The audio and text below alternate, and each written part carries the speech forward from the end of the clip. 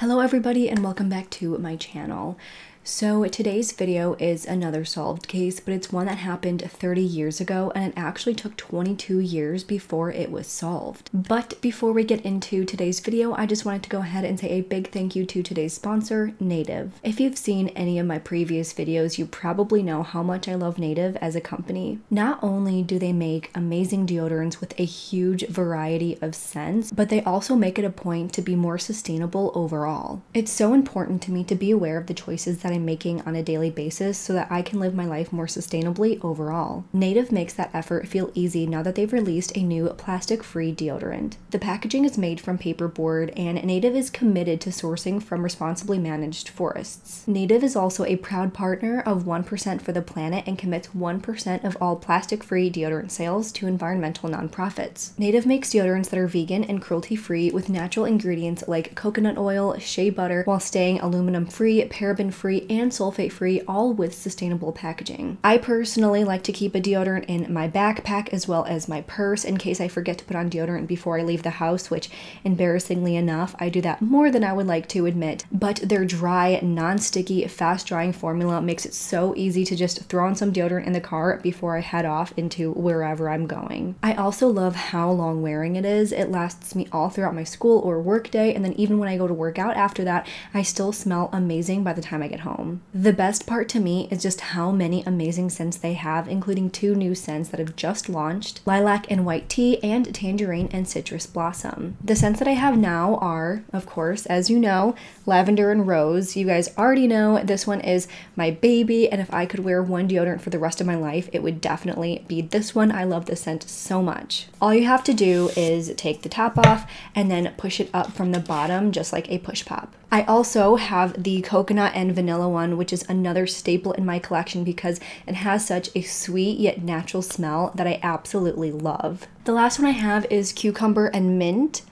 And honestly, this is a new scent to me because I wasn't sure if I would like it but honestly, I absolutely love the way this one smells. It just smells so fresh and so clean. Now, normally three plastic free deodorants go for $39, but if you use my link in the description box below and use code Rachel Shannon 4 you can get a three pack for $29, which is 25% off. There is free shipping available to the US and shipping is available to the countries listed here. So again, make sure you go ahead and click the link down below and use code Rachel Shannon 4 to get 25% off of your three pack of plastic free deodorants. Thank you again again to Native for sponsoring today's video. Alright, with all of that being said, let's get into today's case. So the case that I have for you today is one that is very disturbing. It's very uncomfortable to listen to. There's a lot of corruption and it's unbelievable how this entire thing played out. I saw this case covered on a TV show actually, and I'm not exactly sure which one. I'm not going to throw any names out there because I don't remember honestly and I don't want to be wrong.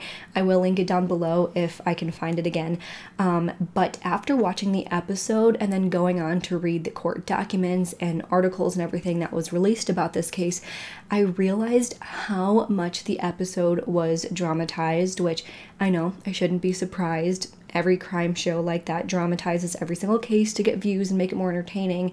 But I also saw that they left out a ton of information. They got some information wrong, and I feel like they portrayed people involved in the way that they wanted to versus how they actually seem to be involved in this case. Again, I understand that shows need to do what they gotta do to make it more dramatic and entertaining and make their money, but I was a little bit annoyed with how they portrayed this entire thing and how much they left out and made people look a certain way. So, hopefully, if you did see that episode, this video can clear up a lot of things that maybe you were confused about, or maybe it'll completely go against what they said and what you believe, because again, I did read the court documents and I kind of got a different idea of what went on versus what the show portrayed. So, with that being said, let's get into today's video. Today, we are going to be discussing the solved case of Corinna Mullen. Corinna Lynn Mullen was born on September 1st, 1967 in St. Louis, Missouri to her parents Claude and Patricia Mullen. She was the oldest of three siblings, Heather, Dina, and Donnie. Now, in 1977, when she was 10 years old,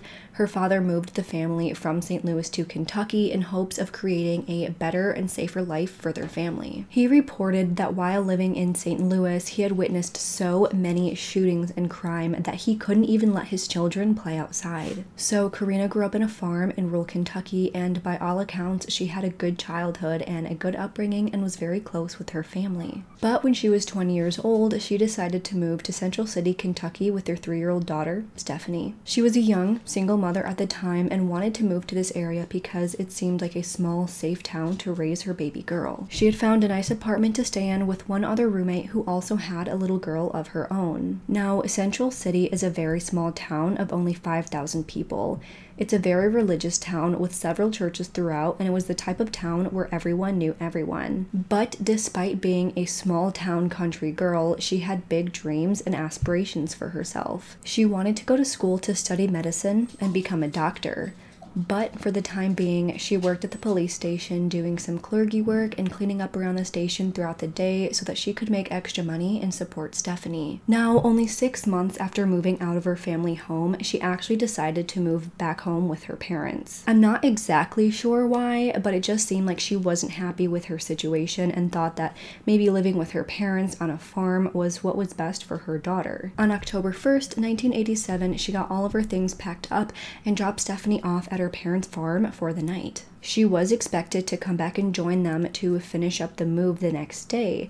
However, she actually never ended up showing up. Now, the next morning on October 2nd, a city street worker in Muhlenberg County in Central City noticed a car with blood on it near the city garage. He noticed that there had been blood coming out of the trunk as if it was dripping out. Of course, immediately that worker called police who showed up shortly after. Now, being that Corinna worked for the police station, when police arrived, they immediately noticed her car and immediately recognized her plates. Her plates said Rennie, which is the nickname that those around her often called her. Detective Billy Fields was the first to arrive on scene and he opened up the trunk of this car only to find a woman who he immediately recognized as Corinna inside the trunk dead. She was naked, absolutely covered in blood. She was wrapped up in a blanket and she was laying in the fetal position. So they went ahead and searched the car and the surrounding area, but they didn't find much, which suggested that she had not been killed where she had been found. She was killed somewhere else and then placed into the trunk and then driven to the location where she would later be found. Upon immediate examination of her body, they found three hairs on her back as well as some dirt and gravel on her body. After this, her body was sent off to the medical examiner who performed the autopsy.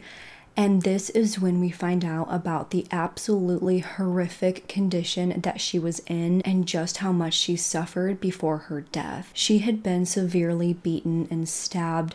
She had multiple facial injuries. She had two stab wounds and one cut on her neck. She had bruises on her back and her arms. One of her nipples was actually cut off, and there were very clear signs of horrific sexual abuse. She also had clear signs of defensive wounds on her wrists, fingertips, and palms, which had showed that she had fought with every ounce of strength in her body. Her actual cause of death was determined to have been asphyxiation on her own blood. So, the next thing investigators did was examine her bedroom in her apartment where she was planning on moving away from. First, they found that there was absolutely no sign of forced entry into the apartment. Then, immediately, they found large amounts of blood all over the bed and the floor. They found several articles of clothing thrown all around the room. Altogether, they gathered all of this evidence and sent it off to the Kentucky State Laboratory for examination. The next thing they did was they went ahead and questioned everyone who knew Corinna. The lead detective, Billy Field, first went and questioned Corinna's roommate, Angela Smith. According to Angela, the night before Corinna's death, the two decided to go out for the night and have some fun. Was with her grandparents at their house, and Angela's little girl was with her dad that night, so they had a little bit of time to themselves to go ahead and let loose. She said that the two went to some bars and had some drinks, and by all accounts, Corinna was having a great time and was in a great mood. Angela said that they were drinking pretty heavily and that both of them were pretty drunk. Then, according to Angela, the two of them were both home by midnight. Once they got home, the two sat on the couch and watched some TV together before Corinna got up to go to bed. However, before going to bed, Corinna told Angela to leave the door unlocked because she was expecting her boyfriend, 19 year old Jimmy Springer, to come over that night. We will talk about who Jimmy is in just a minute. Now, the crime scene showed that it was very apparent that Corinna had suffered a very violent and horrific attack before her death. And their apartment was incredibly small, and their bedrooms actually shared a wall together. However, Angela claimed that she hadn't seen Corinna since the previous night around midnight and said that she hadn't seen or heard anything that happened to Corinna. She said that she slept through the entire night and didn't hear anything and didn't even know if Corinna was home all night or if she had left at some point. Angela said that she had actually been so heavily under the influence of alcohol and she had taken some sleeping pills, so she thinks that's why she didn't hear anything anything, but obviously this was still incredibly strange.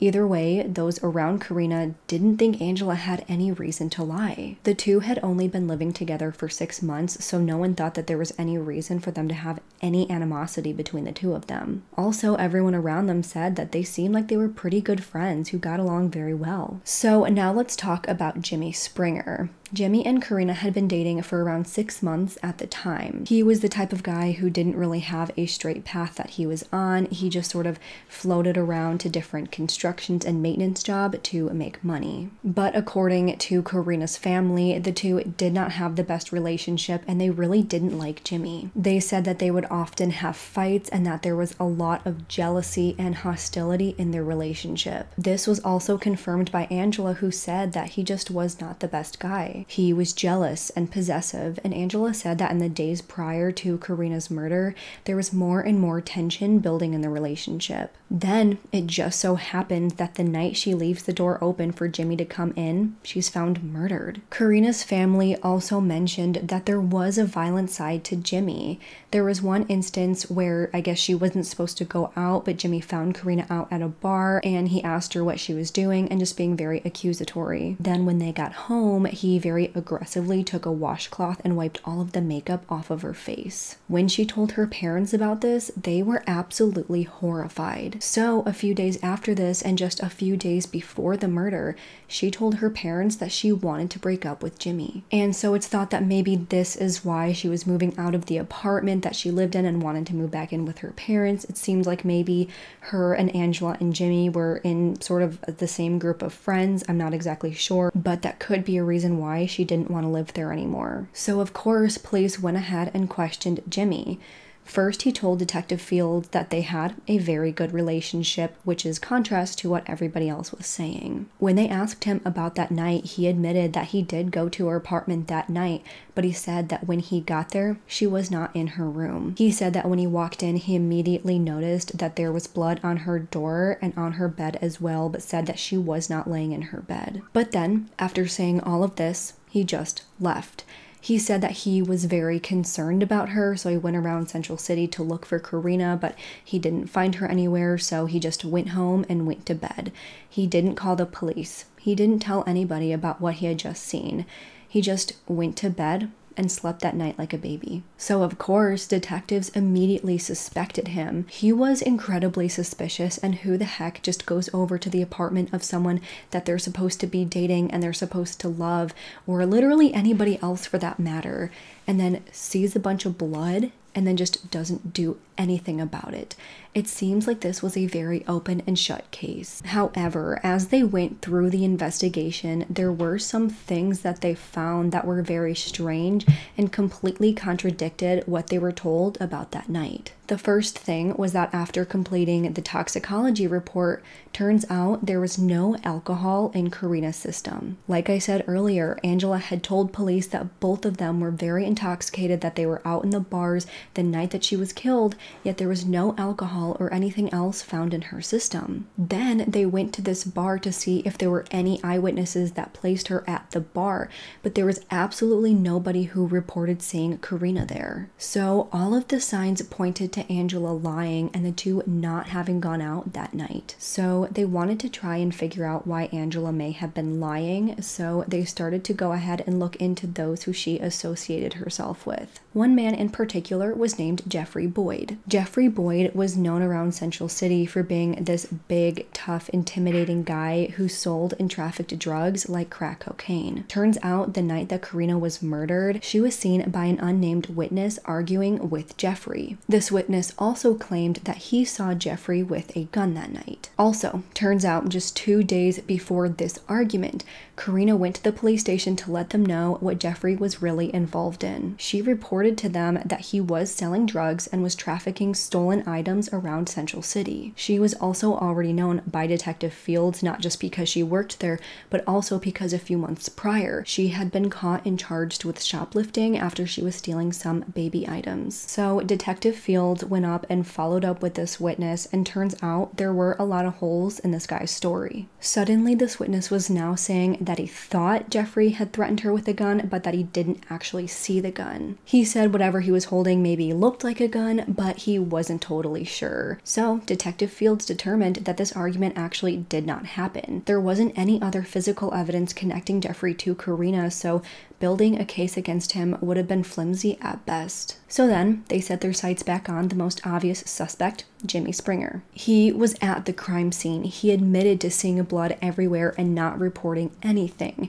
This was all super suspicious, so police took Jimmy into custody and charged him with Corinna's murder. By July of 1999, the murder trial started, but the trial only lasted two days before it was handed off to the jury. They only deliberated for a few hours before they came back with a verdict of not guilty due to a lack of evidence. There was absolutely no physical evidence that he was responsible only circumstantial evidence. Yes, he was at the apartment that night. Yes, they had a tumultuous relationship, but there was nothing solid that pointed towards him being guilty. The family was just so absolutely horrified at this point, and they had absolutely no idea what to do. So, after this, the case just went cold. There was absolutely no movement in the case, no new leads, no new evidence, nothing pointing them in any sort of direction. So, after holding on to Corinna's car for several months, they returned the car back to Corinna's parents,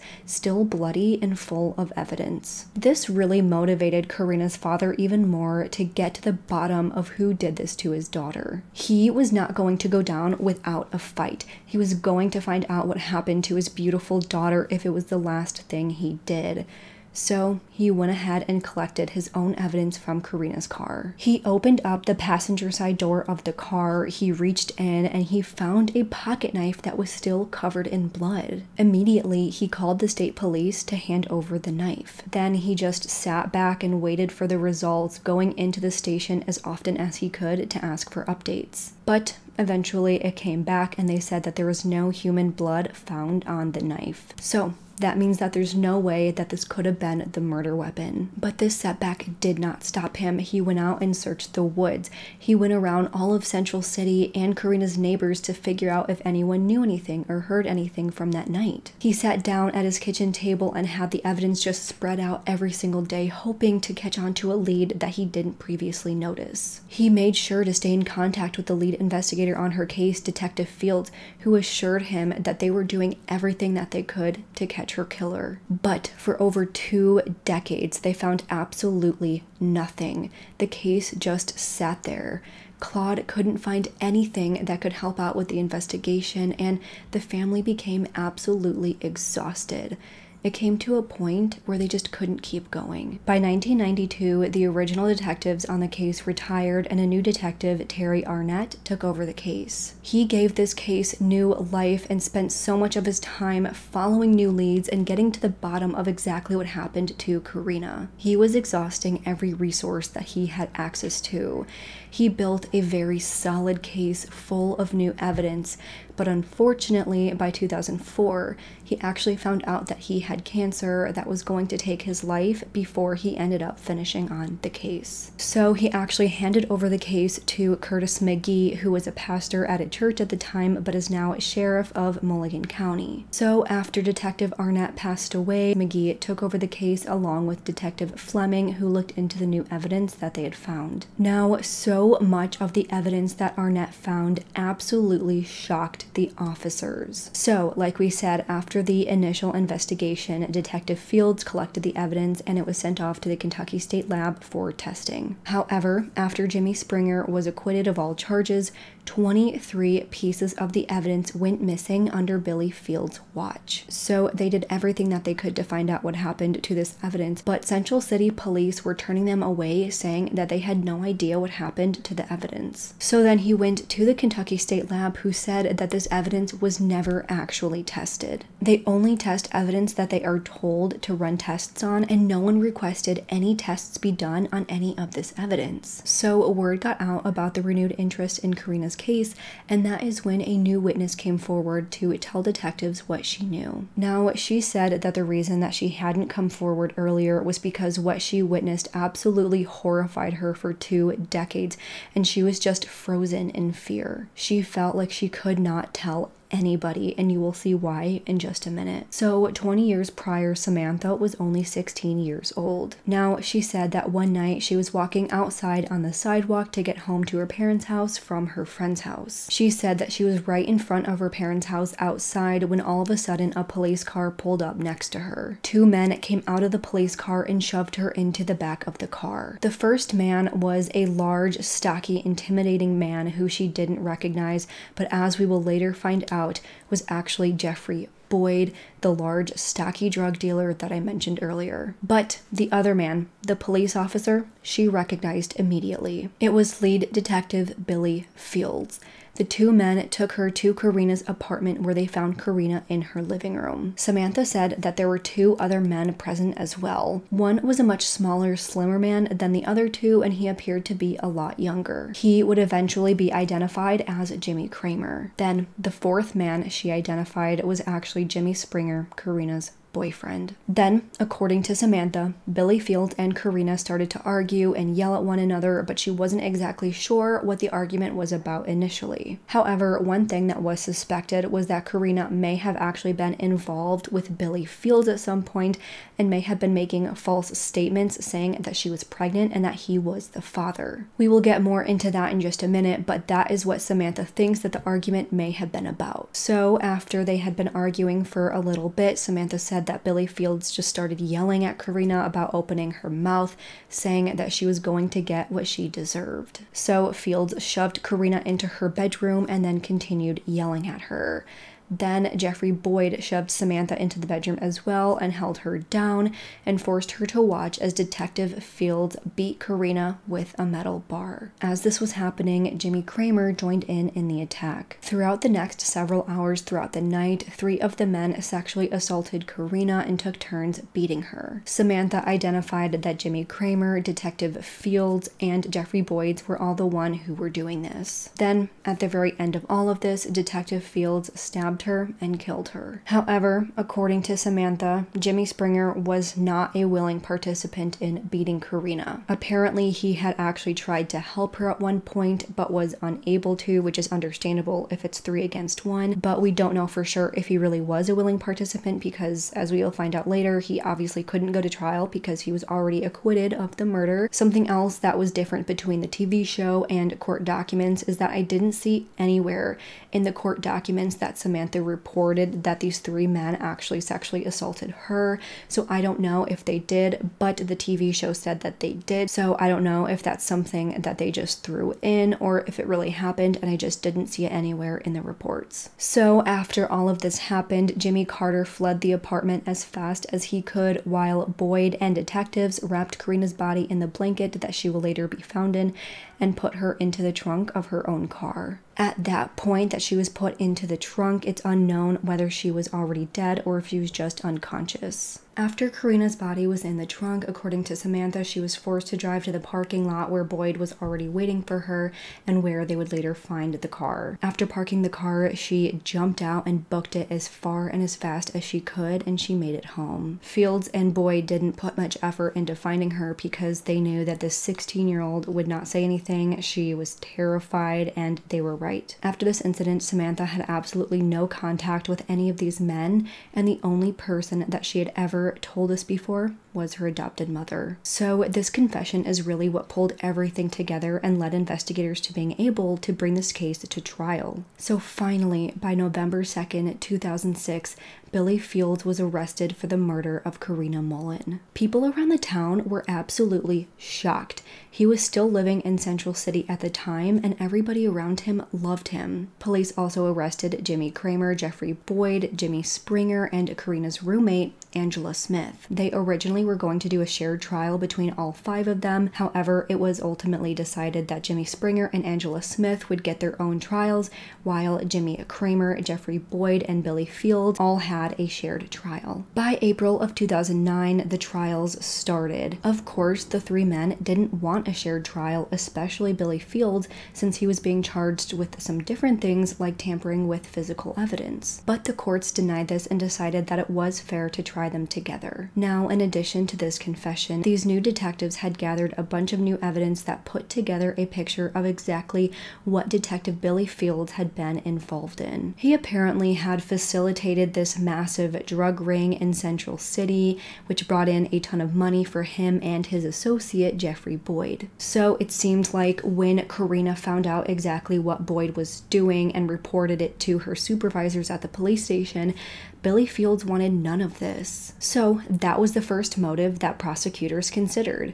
They also considered a possible motive that Corinna had made this false statement saying that she was pregnant with Billy Fields' child and that he killed her because of that. Now, I don't know if anywhere this was confirmed that she was even pregnant to begin with, but as far as I know, I don't think she was. I also don't know if it's confirmed that she was involved with Billy Fields.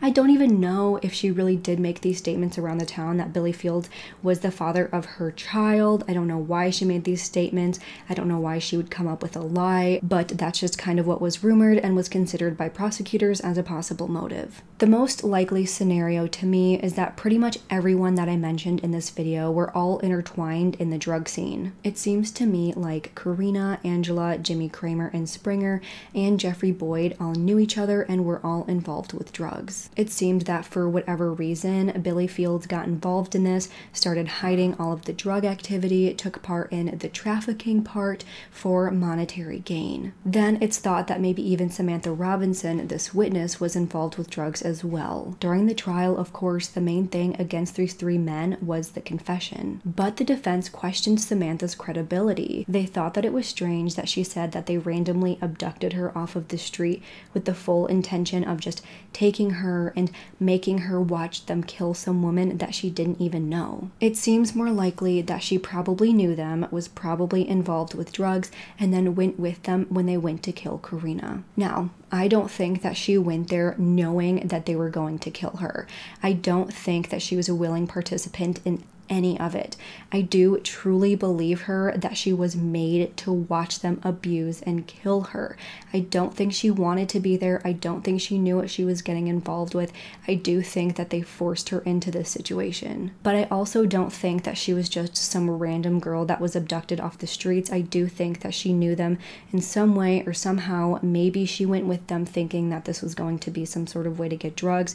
I don't know, but I do think that she was involved with them in some way. So, the other thing that got brought up is that it's thought that Billy Fields had intimidated several witnesses, which I will get more into in just a minute, but it's thought that maybe Samantha was intimidated by him as well, and that's why she never came forward with what she knew. We don't know for sure which man did what in participating in raping or killing Corinna, or if it was just Billy Fields while the rest were just there and watching him and cheering him on. Maybe her recount of the story was 100% true and factual, but to me, it really doesn't make a difference whether all of them took part in physically attacking her or if they were just present. I think that they are all equally responsible either way.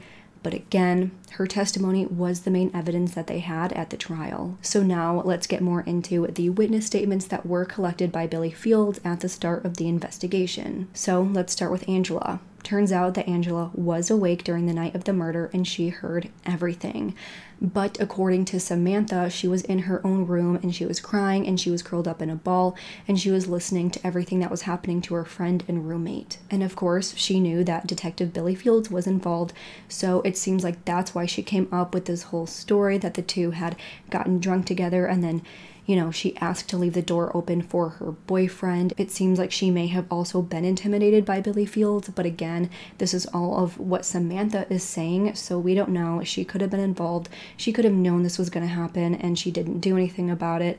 I don't really know. So, in addition to Angela Smith's false statement, obviously, when they were investigating the murder, Billy Fields went around to the neighbors to see if anyone had seen or heard anything, and initially, every single neighbor had said that they didn't hear anything. But of course, it seems like he may have also intimidated them into silence. There was actually a witness who saw a patrol car outside of her apartment the night that Corinna was murdered, but she was made to keep quiet and she only came out with this information after she knew it was safe to. There apparently was another witness who saw Jeffrey Boyd walking away from the crime scene covered in blood, but again, it seemed like Billy Field intimidated them into silence. I also want to say I don't know if this witness statement is true. I don't know if that was thrown into the show for added, you know, spice, seeing a man walking away covered in blood from the crime scene. I don't know if that actually happened. Again, I did not see that one in the court document so take that one with a grain of salt. But being the lead homicide detective in the town, people everywhere were absolutely terrified to speak up. I mean, who could they go to? If the wrong person found out that they were speaking up, they could be killed too. The other part of the trial focused on Billy Fields getting rid of evidence. So, after all of the evidence and all of their DNA and semen were collected from the crime scene, it was Billy Fields' responsibility to get all of these items tested. But of course, he ordered no tests because he knew that it would be his evidence and his DNA all over the crime scene. And that's also why Jimmy Springer's trial was so short and why he got acquitted so quickly because there was zero forensic evidence to bring forward. Then, after Jimmy Springer's trial, any evidence that was brought forward, Billy Fields ordered the items to come back to him, and the paperwork from the lab had confirmed that it had not been examined at Billy Fields' request. And these pieces of evidence have never been found after they were returned to Billy Fields, so it's thought that after he got them, he hid them or destroyed them and got rid of them. So at the end of this trial, Billy Fields was convicted of murder, first degree rape, kidnapping, first degree sodomy, and tampering with physical evidence. Jeffrey Boyd was convicted of murder, first degree rape, and kidnapping.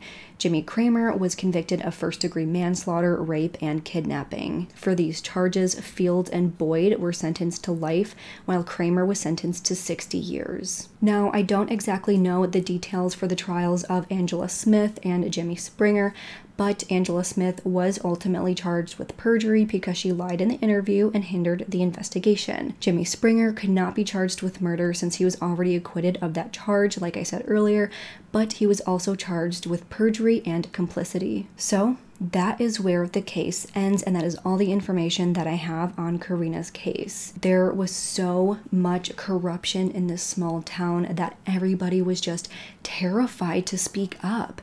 It's absolutely terrifying because if something like this happened to you in this small town, you would really have absolutely nowhere to go. And as far as I have seen, the town is still very corrupt and not a lot has changed, unfortunately. It's just so heartbreaking because Corinna's father was trying his best to get justice for his daughter, and he even did his own investigation. And he was constantly being reassured by Billy Fields saying that they were working hard to find justice. He looked him straight in the eye, knowing that he was the one who killed his beautiful daughter. And Unfortunately, Corinna's mother, Patricia, had passed away two years before charges were brought against these men, so she never lived to see her daughter's murderers be put away, which is just so absolutely heartbreaking. I'm very upset with how long it took to uncover this horrific corruption in this town, but I'm glad that they were ultimately found and brought to justice. It seems like, unfortunately, Corinna got involved with the wrong people. It seems like maybe she was involved with drugs to some level, but maybe she realized that things were a lot deeper than she thought and she wanted someone to be held accountable. And that's when she decided that she was going to say something. But that's what ultimately cost her her life. I'm just so angry that Stephanie had to grow up without a mother because these disgusting men were afraid that they were going to get caught in the illegal stuff that they were involved with. Stephanie is now grown with a daughter of her own. It's just sad because she doesn't really have any memories with her mom. She doesn't remember her mom, and her daughter doesn't have a grandma. It's just so horrible. So that is all I have for today's video. Thank you for taking the time to listen to Corinna's story, and I'm really looking forward to hearing your thoughts in the comments below. If you liked this video, please make sure to go ahead and leave this video a thumbs up and subscribe to my channel. I put out new true crime and mystery videos every single week. Don't forget to turn on the notifications to get notified every single time I post a new video. Don't forget to follow my Twitter and Instagram. Both will be linked down below. And don't forget to go ahead and head over to Native and get 25% off of your three pack of plastic free deodorants using code Rachel Shannon 4. If you have absolutely any case suggestions, please make sure to go ahead and send them over to my email at rachelshannoncases at gmail.com. With that, I hope you guys have a great week. Stay safe, stay healthy, and I hope to see you next time. Bye.